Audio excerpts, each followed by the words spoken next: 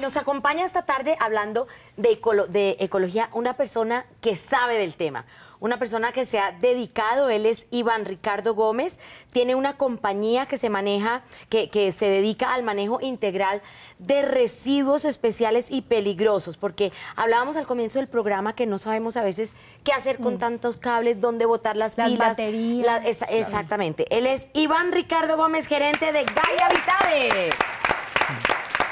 Iván Ricardo, ¿cómo estás? Bien, muchas gracias. Bueno, ¿qué es Gaia Vitare? Gaia Vitare es una empresa de ingenieros ambientales. Significa tierra viva en griego y latín. Y nuestro proyecto pionero dentro de la compañía ha sido el manejo de residuos de aparatos eléctricos y electrónicos, ¿sí? o RAES, como se conocen en el lenguaje técnico de la parte ambiental. Nosotros estamos desde el año de 1999 con este proyecto. Hemos eh, procesado y dispuesto eh, más de 20 mil toneladas de residuos de aparatos eléctricos y electrónicos. En la compañía eh, le damos el manejo a cualquier elemento o aparato que funcione con corriente eléctrica, desde una SIM card hasta una cámara de televisión, celulares, computadores. Sí, pero ¿de qué se encargan ustedes? O sea, la gente los conoce y ustedes dicen, mire, nosotros, tráiganos todas sus cosas que nosotros sabemos qué hacer, o ustedes son una entidad que se dedica a educar. ¿Cómo es ese manejo de ustedes? ¿Cómo le pueden ayudar a la sociedad? Bueno, nuestro aporte va desde la capacitación, la concientización al generador. En este caso, el generador se puede dividir en tres grupos. Eh, personas naturales, eh, entidades eh, de educación o entidades gubernamentales y la empresa privada. Entonces nosotros atendemos a estos tres grupos de generadores. Claro, pero Iván, si quieres centrémonos entonces en las personas naturales, digamos, quienes nos están viendo en la casa y dicen, oiga, sí, en la mesita de noche tengo dos celulares que no sirven, tengo el horno microondas que está ahí almacenado hace tiempo y está dañado, ¿qué hay que hacer con eso? Bueno, la idea es separarlos de las otras corrientes de residuos, es decir, de los residuos eh, domésticos, eh, del reciclaje convencional, eh, hablemos de papel, plástico, botellas, vidrio.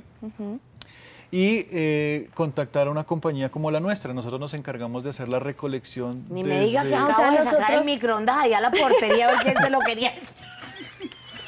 Nosotros, nosotros los llamamos a ustedes y les decimos, tengo almacenado esto en mi casa. Exacto. Y de acuerdo al volumen que tengas, lo puedes, eh, podemos recogerlo o puedes llevarlo a uno de los puntos que tenemos, por ejemplo, en el centro comercial Ciudad Salitre. Hay un punto que se llama Punto Naranja en el parqueadero. Ahí lo puedes depositar y nosotros vamos y lo recolectamos cuando ya haya una cantidad representativa. Todo lo que tenga que ver con electricidad, con electrónico, con todo sí, eso. Todo, todo. todo lo que funcione con corriente eléctrica absolutamente todo. En el centro comercial Palatino también tenemos eh, un punto de recolección fijo, entonces eh, allá cada vez que el, punto se, llena, nosotros pasamos y recolectamos los residuos. Eh, también podemos, como te digo, pasar a tu oficina, al conjunto. Con los conjuntos también desarrollamos campañas ¿sí? de recolección de residuos. Bueno, pero si, si yo estoy en un sitio donde, donde no existe todavía este, esta política de recolección de residuos, eh, ¿qué puede hacer la persona normalita que tiene en su casa un microondas o que tiene eh, pilas? ¿Dónde, se pueden depositar? Eh, o sea, ¿uno lo saca a la basura? ¿O cómo es el manejo? ¿O identificar que ahí hay un, electrodoméstico, un, algo electrónico? ¿Cómo hacer? Bueno, lo primero es la separación. Después de que yo separo, tengo que identificar cuál es el canal de, logística reversiva para que llegue a una compañía como la nuestra.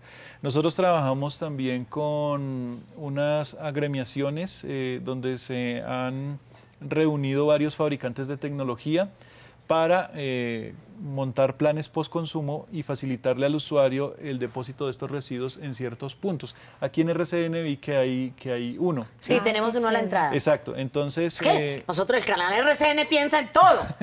entonces... Entonces, en ese tipo de puntos es donde eh, las personas pueden ir a depositar los residuos si no tienen, digamos que las herramientas para hacérnoslos llegar o de pronto los volúmenes necesarios para que no los pasemos. ¿Y qué pasa cuando uno vota ese tipo de cosas en la basura común y corriente. ¿Qué pasa con esas cosas? ¿Qué pasa con la basura? ¿Qué es lo que pasa? Los residuos electrónicos están compuestos por varios elementos, eh, en su mayoría son metales.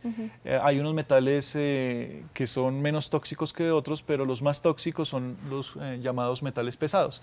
¿Cuáles son estos metales pesados? Plomo, cadmio, mercurio, entre otros. ¿Sí? Entonces, básicamente estos metales que hacen a la salud de las personas pueden generar cáncer o malformaciones genéticas. Eh, de pronto son unos residuos que no tienen un impacto tan rápido como lo pueden llegar a tener los residuos hospitalarios, que pueden transmitir enfermedades y pueden tener un impacto mucho más rápido eh, en, la salud de una persona o de una población.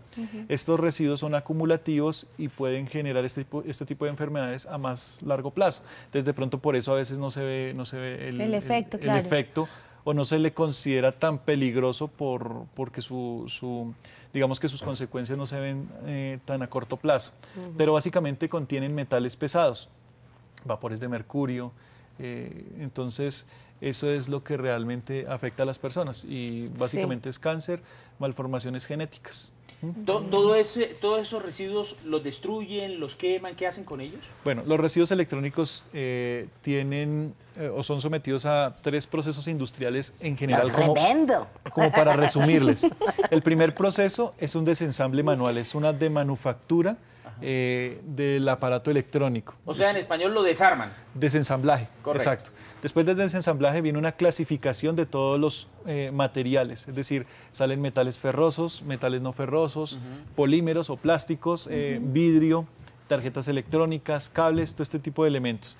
El, tercer, el segundo proceso es una trituración de estos materiales para reducir volúmenes y para enviarlos al tercer, al tercer proceso, que es el de refinación, fundición o inyección en, el caso de los plásticos. ¿sí? o sea que muchos de esos los reutilizan, maravilloso. Sí, claro, la idea es reincorporar la mayor cantidad de elementos posibles a la cadena productiva en otro, en otro elemento. Bueno, qué Por maravilla. Digamos, las baterías de los portátiles se convierten en materia prima para los carros eléctricos que en este momento están empezando a comercializar en el mundo. Claro, claro. Bueno, bueno la gente, ¿dónde puede comunicarse con ustedes? ¿Manejan alguna red social o cómo hace la gente que quiere comunicarse con ustedes? Nuestra página web es www.gayavitare.com.